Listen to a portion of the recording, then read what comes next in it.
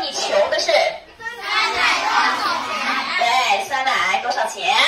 来，我们可以结合这一条线的图来理解。首先，我们来看一下，假设这一条线段我表示的是 A，它带的钱，那么这一条线段我表示的是 B 带的钱，整个这条线段就是这个酸奶的钱数。哎，那么这个部分是多少？一元。对，因为它俩合买差一元。现在看到第一个条件，A 买的话差了五元。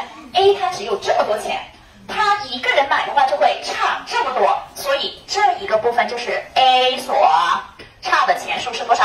五元。A 的话买差了五元，那么我们这个 B 的钱数就得出来了，多少？